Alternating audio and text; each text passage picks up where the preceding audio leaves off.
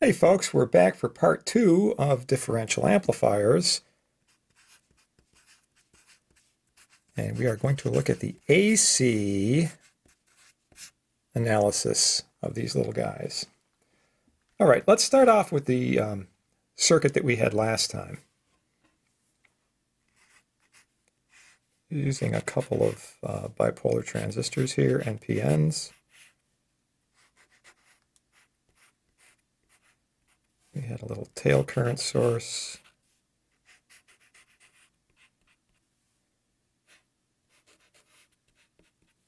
Right, we got two Ks on here, five Ks up here, 15 volt power supply, our 10K, and a negative 20.7 volt source down here.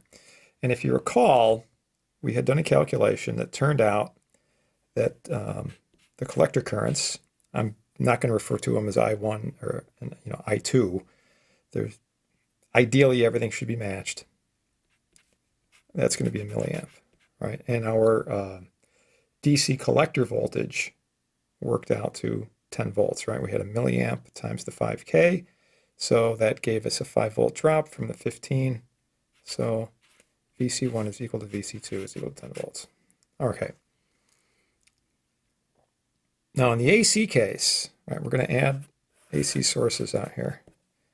As I said, this is a differential amplifier, so we have two inputs. Right, this is VN number two on this side, and on this side, VN number one. So what we would like to do is use superposition on this. What we're going to do is figure out the contribution at the output, one of the two collectors, uh, from VN number one, and then we'll do it for VN number two. We'll see what we wind up with. Okay, add the two pieces together and we've got the total result. All right, so let's consider VN1 first. We'll start over here. So in superposition, we're going to short out the other source, right? Replace it with its ideal internal impedance what do we wind up with? Well, we wind up with something that kind of looks like this. Here's V VN number one. I'm going to replace our transistor, uh, transistors, excuse me, with their model. So our simplified model is we have an R prime E over here and a current source for the transistor. Now that goes off to the 5K this one. And this comes down. Now the current source, basically this thing is going to open up. An ideal current source is going to have a huge internal impedance.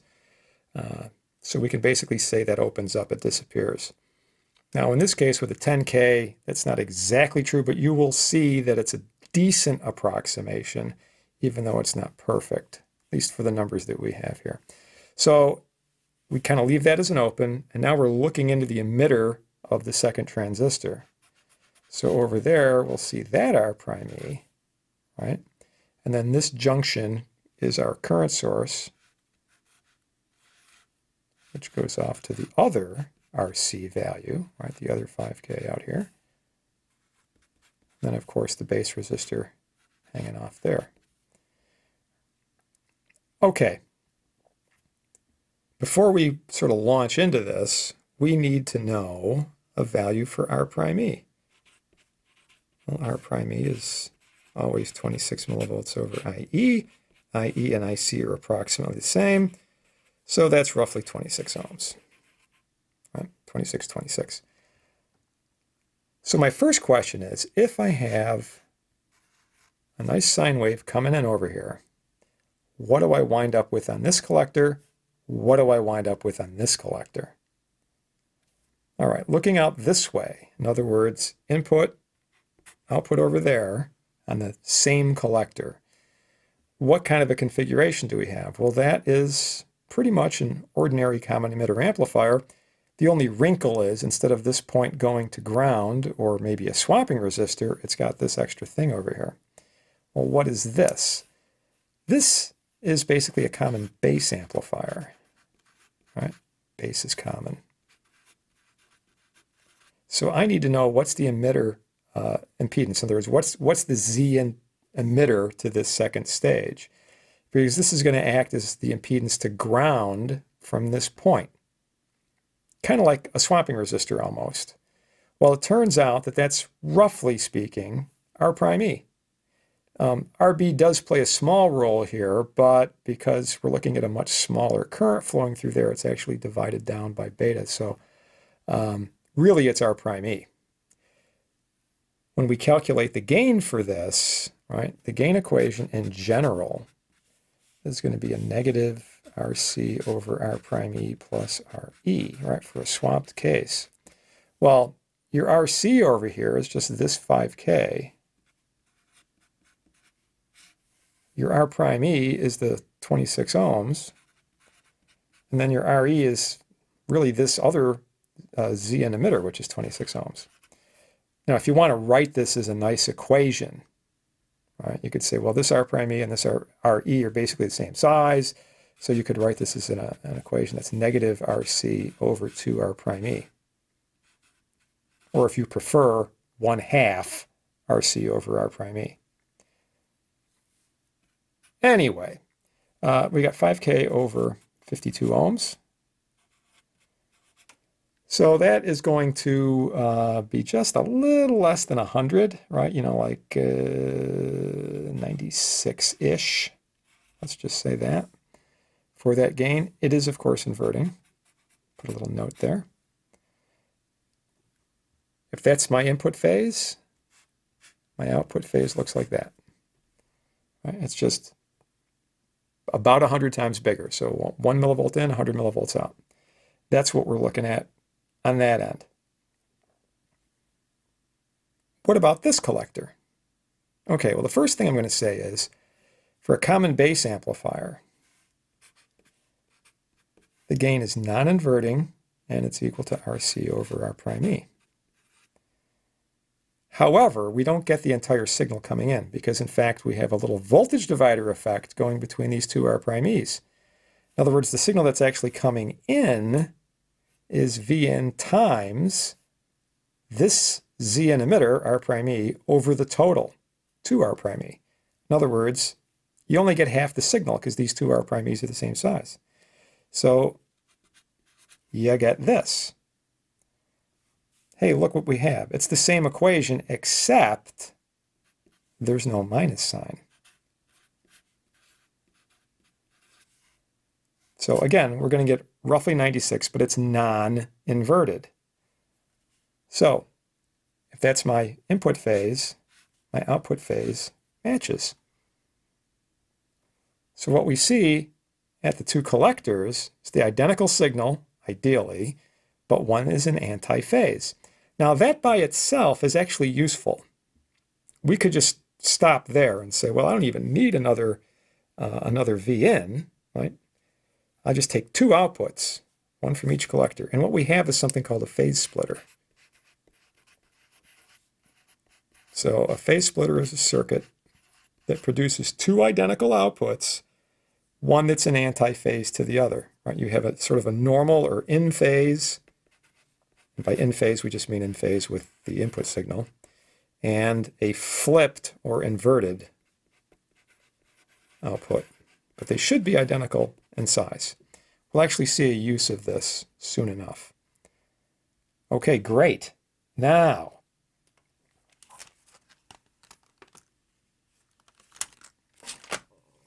let us continue with the other input. In other words, now let us consider VN number two.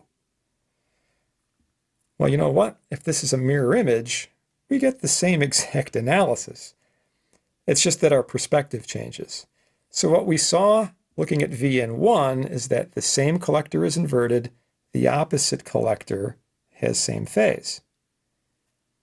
So if I consider V number 2, same collector will be inverted, opposite collector will be in phase. Which means if I have over here on its input an identical input signal, right? Driving in, I'm not going to redraw this with a, uh, a source signal right back here in the base. But if we had that phase, then on the same transistor, we get antiphase. And on the opposite side, the other transistor, we get same phase. So these amplitudes should be identical. In other words, if we had 1 millivolt in, we should get 96 millivolts out, whether it's the black or the blue. So what's a inverted 96 millivolt sine wave with a, a normal 96 millivolt sine wave when you add them together? They cancel. You get nothing. Same thing over here. You get big fat zero.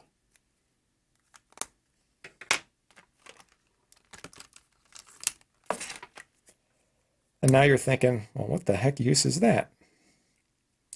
Turns out it can be really useful. But before we look at that, let's take the case where the second base is flipped. So here's my original phase. Here's my flipped phase. Now what happens? Well, these blue things are flipped upside down. So we get that over there, and we get this over here. Well, now, in this case, these things add right? Kind of go like this. We get twice the output. So if the two inputs are in antiphase, the net gain for this thing is just RC over R prime E rather than 2R prime E, right? Because these two things add up and we get double the signal. Well, that's kind of interesting, right? It's kind of like, you know, it's a double gain. Okay, these two versions, the red and the blue, are very important. So the red version, right, where we have um, identical, excuse me, where we have inverted phase on this second input, that's referred to as a differential input.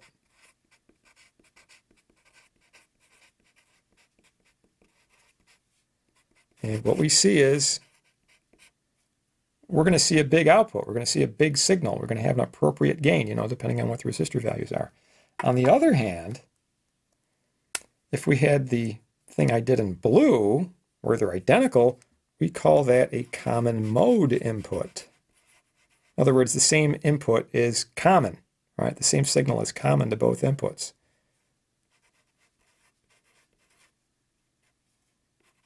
And what we see there is that the signal essentially cancels.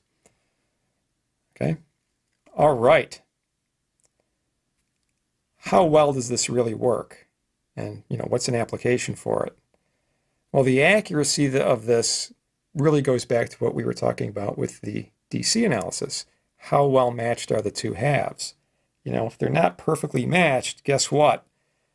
The gain from one side is not going to be exactly equal to the gain on the other side. So mm, the cancellation or the additions, the cancellations are actually more important, um, won't be perfect. You know, so you won't have these two things perfectly give you zero, or those two things perfectly give you zero. In the ideal case, if you have a common mode input, the output has perfect cancellation so the output is zero. Now what that tells you is you only wind up multiplying a differential input. Differences between the inputs are what are multiplied. So we can write a gain equation for this whole circuit. What should the output voltage be? And by output, I'm referring to one of the two collectors. Well, V out should be you know, a gain, right? This RC over R prime E thing, um, times, here's the important bit, one input minus the other. Now I can call this, I'm going to call this V plus and V minus. And by plus and minus, what I mean is the phase relative, right? What's this phase relative to the output? So if I was talking about, let's say this output, right? This collector is the output. A positive going signal here is positive going here, right? So that would be the V plus. The inverting would be this guy. He would be the V minus. On the other hand, if we were using this as our output, then, right, this is going to be in phase from V in, and it's going to be out of phase relative to V2. In other words, the pluses and minuses would shift. So there's a, if there's a different signal, right, we'll get some kind of amplification. If the two signals are identical, ideally we get nothing. This is extremely useful when we start talking about um, trying to get rid of noise. What we will do is make a phase splitter. And I'm going to run this down through a whole bunch of twisted pair cable. So these two signals are basically identical. And all twisted pair cable is, is just two conductors and they're just sort of spun around each other and there's an outside coax. And then this goes into my differential amplifier, which I'm just going to draw as a little diamond over here. Okay, so it's got my V plus and my V minus. Here's the cool thing. You throw in a signal, all right? So here's, here's your, um, your nice sine wave that you applied back here. Well, the phase splitter gives you this and this, okay? So that's a differential signal. What should I get out of this amplifier? Well, the difference between these two, and the difference, of course, between sine and minus sine is two sine, right? Sine minus a minus sine is two sine. So we see a nice big signal out here. But if we have a common mode signal, and where would we get the common mode signal? We would get the common mode signal from some kind of induced noise. That would be induced into the two lines equally. So let's say, right, let's say that this guy is, you know, this line. This one should look like this. Well, if there's a noise spike, like if we have some switching switching machines or something like that, that spike is going to be induced ideally same amplitude, same phase in both wires.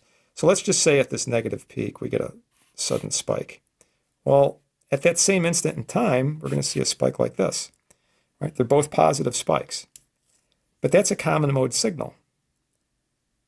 So this part of the spike is subtracted from this part of the spike, and they cancel out. And what we're left with is a nice pristine sine wave that we started with. It's brilliant. Now, how good is it in the real world, right? How, how good is the matching? Well, we come up with something called common mode rejection ratio. Right, figure of merit. That's a lot of syllables to put together, so we just call that CMRR, which is a little bit of a tongue twister itself. So CMRR basically is a ratio between what you would have gotten in this system versus um, the um, you know non-differential. So if I have let's say, uh, use some nice round numbers here. Let's say my signal is one millivolt and my noise spike is eh, not drawn to scale. Let's just say it's 10 millivolts. And let's just say that the differential gain over here is 1, just to keep the numbers easy. Well, we should just get 1 millivolt out of here okay, if the differential gain is 1. Okay. The matching, however, will not be perfect, so we will get something out of there. Well, let's say your CMRR, and this is not very good, but let's just say it's 100. What this means is it will suppress the spike by a factor of 100. So instead of that 10 millivolts going through and getting a gain of 1, it's going to go through, right? So the, the, the V common mode gets multiplied by the gain, but then it gets divided by the CMRR. So you've got 10 millivolts times a gain of 1. Common mode rejection ratio is 100. So what you wind up with is a tenth of a millivolt. So you started with something that was 10 times bigger than your signal. And if this was a constant thing, like if this was uh, like a broadband noise or a hum or something, it would just drown out your original signal. It'd be terrible. Um, but out of this system, you have a, a, signal that's much, much smaller. Right? You have a, a noise signal, this, this garbage, this interference, that's 10 times smaller. Well, that's great. And that's only with a common mode rejection ratio of 100.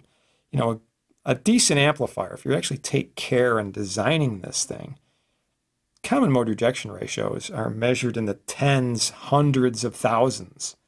You know, big numbers. As a matter of fact, we normally talk about a common mode rejection ratio in decibels, CMRR prime, where, you know, 100 dB would not be a crazy number? That's a voltage ratio, so, you know, 20 log 10. So we're looking at like 10 to the fifth, right? 100,000. If that was the case here, right, and we like bumped these up, and we said, oh, this is a volt, and the noise signal is 10 volts. Wow. But I have 100 dB, which, like I said, works out to 10 to the fifth. You would say with a gain of 1 over here, 1 volt times 1, I've got 1 volt of signal. But my noise would be 10 volts times a gain of 1 divided by 10 to the fifth. You know, so you're looking you're looking at microvolts for this thing. Okay, well that's beautiful. I got a one volt of signal, and I've got microvolts for for uh, my noise spike.